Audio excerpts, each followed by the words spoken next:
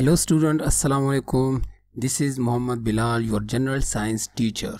Today I'm going to start unit number 2, the senses. We have five senses. These are sight, hearing, smell, taste and touch. Now the question is that how do we use the senses? हम in five senses को कैसे use करते हैं in five senses से हम अपने आप को खतरों से भी बचाते हैं और इन फाइव सेंसेस से हम इंजॉय भी करते हैं अपनी लाइफ को। Let's start our topic number one is sight the first topic is sight sight means नज़र। हम अपनी आँखों से चीज़ों को देखते हैं और महसूस करते हैं। अगर कोई चीज़ नज़दीक हो, हमारे करीब हो तो हमें पता चलता है और अगर कोई चीज़ बहुत दूर हो, तब भी हमें एहसास होता है, पता चल जाता है कि वो चीज़ दूर है। हम फील कर सकते हैं अपने आँखों से किसी चीज़ की नजदीकी को और किसी चीज़ की दूरी को। So the first line is we see with our eyes हम अपने आँखों से देखते हैं। We can see how big are how far away something is हम देख सकते हैं अपनी नज़रों से, अपनी आँखों से, अगर कोई चीज़ बड़ी हो, छोटी हो, नज़दीक हो या दूर हो। We can see colours and shapes हम खूबसूरत कलर्स और शेप्स को अपनी आँखों से, अपनी नज़रों से महसूस कर सकते हैं, देख सकते हैं। We see more clearly when things are in bright light rather than in dim light हम और भी आसानी से साफ़ सुथरा देख सकते हैं। अगर कोई चीज़ रोशनी में हमें नज़र आए बजाय इसके के अंधेरे में, सो इससे हमें पता चलता है कि हम अपनी आँखों से हर चीज़ को फील कर सकते हैं। ये हमारे बॉडी की एक सेंस है। ये ये बॉडी की ऐसी पार्ट है जो कि हमारे सेंस में शामिल है।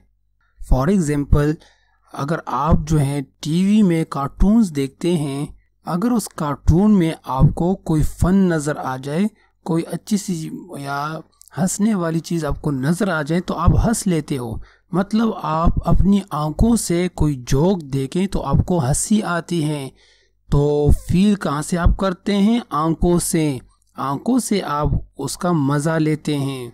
और अगर कहीं पर आपको ख़तरे की चीज़ नज़र आ जाए। फॉर एग्ज़ाम्पल आपको आग नज़र आ रही हो तो आप उसके करीब नहीं जाते। आपको नज़र आ रहा है कि ये आग है और ये जो है मेरे लिए ठीक नहीं है मुझे तकलीफ़ देगा। तो आप उससे दूर हटते हो। तो आप अपनी आँखों से अपनी नज़रों से आप उसका पता लगाते हो और अपनी आप को ख़तरे से बचाते हो। सो so, साइट का बहुत इम्पोर्टेंट रोल है सेंस में। Let's move to the next topic the next topic is hearing अब साइट के बाद हियरिंग का नंबर आता है कि अगर आप अपने कानों से किसी चीज़ को फील करते हैं, कान हमारे किस लिए होते हैं? सुनने के लिए, चाहे वो कोई भी साउंड हो स्लो साउंड हो या लाउड साउंड हो तो उसको सुनने के लिए हमारे कान होते हैं और उससे वो महसूस करते हैं कि ये आवाज़ तेज़ है या स्लो है। अगर ज़्यादा तेज़ आवाज़ होगी तो हमारे कानों को बहुत बुरी लगेगी, हमें दर्द भी होगा कानों में। और अगर आवाज़ नरम, मुलायम, स्लो आवाज़ है तो हमें अच्छा लगेगा। अगर हमें कोई जोक सुनाएगा और हमें सुनाई दे अपने कानों से तो हम उस पर हंस लेते हैं, खुश हो जाते हैं, फ़न करते हैं उससे, मज़ा लेते हैं। और अगर कोई चीखे हमें आवाज़ें सुनाई दे तो हम डर जाते हैं और हमें ख़तरा महसूस होता है। तो हम अपने कानों से भी किसी चीज़ को फील करते हैं और ये भी हमारी बॉडी का एक ऐसा पार्ट है जो कि सेंस में शामिल है और ये बहुत इम्पोर्टेंट रोल होता है इसका सेंस में। Let start it we hear sounds with our ears हम वॉइस या आवाज़ें सुनते हैं अपने कानों से। We can hear people speaking हम लोगों की आवाज़ या बातें जो हैं, वो सुनते हैं कानों से। We can hear loud sound हम तेज़ आवाज़ भी कानों से सुन सकते हैं एंड सॉफ्ट साउंड नरम और खूबसूरत आवाज़ जो है, वो अब हमारे कानों को अच्छी लगती हैं। We can hear sounds that are near us and some that are far away जैसे कि मैंने पहले कहा, हम वो आवाज़ें भी सुन सकते हैं, वो साउंड भी सुन सकते हैं जो कि हमारे करीब हैं और वो वो आवाज़ें भी सुन सकते हैं जो हमसे दूर होती हैं। अगर आपको पिक्चर नज़र आ रही है तो इसमें देखें, इसमें कोई छोटी सी बच्ची अपने पापा को कान में चुपके से कुछ बोलती हैं। मतलब अगर आपके करीब कोई कान में आके कुछ कहें तो आप उसको सुन सकते हैं। और दूसरी पिक्चर में देखें, ऐसा है कि कोई किसी को सुनाई ना दे दूर की आवाज़ तो वो कान लगा के सुनने की कोशिश करते हैं कि दूर से क्या आवाज़ें आ रही हैं, कौन बोल रहा है, कौन नहीं बोल रहा। तो इस तरह हम जो है, महसूस करते हैं अपने नज़दीक की आवाज़ों को भी और दूर की आवाज़ों को भी। That's it it's enough for today ये आज के लिए काफ़ी है। आज हमने क्या पढ़ा है? एक सेट के बारे में पढ़ा है और एक हियरिंग के बारे में दोनों सेंस में शामिल हैं। हम नज़रों से भी किसी चीज़ को देख के फील कर सकते हैं और अपने कानों से भी आवाज़ें सुन के उसको फील करते हैं। अगर आपको कोई कहे कि आप कानों के बजाय आँखों से क्या सुन सकते हैं तो नहीं, हम सिर्फ़ कानों से सुन सकते हैं, आँखों से नहीं, मुँह से नहीं।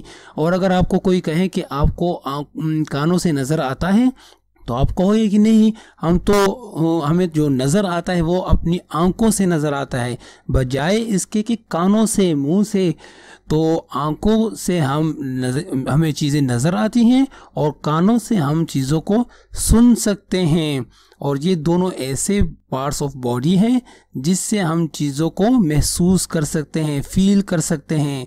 तो ये हमारे सेंसेस में शामिल हैं। ओके okay, स्टूडेंट्स आज जो हमने पढ़ा है आपने इसको बार बार इसको रीड करना है और ये क्वेश्चन आपने याद करना है ये ओरल है तो आपने इस क्वेश्चन को याद करना है मेमोराइज करना है। मैं आपसे क्वेश्चन करूँगा और आपने मुझे आंसर देना है। क्वेश्चन है how many senses do you have name them answer is we have five senses these are number one sight number two hearing number three smell number four taste number five touch तो ये five senses आपने याद करने हैं। Second question है how many types of sounds are there name them तो इसका answer कुछ इस तरह से आपने देना है। There are two types of sound number one soft sound and number two loud sound इसको आपने पढ़ना है और इसको मेमोराइज करना है। Okay students okay take care good bye अल्लाह हाफिज़